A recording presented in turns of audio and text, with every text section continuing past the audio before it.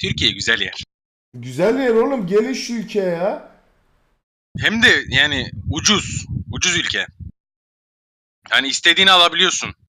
Evet. Ama biz değil. Siz gelin. Eğer Yani siz, siz gelin. siz çok gelirseniz biz de istediğimizi alabilir hale geleceğiz. Lütfen. Lütfen. Gelmeniz lazım.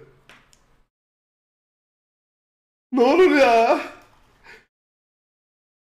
Bak söz güvenilir ya. Bak güvenilir.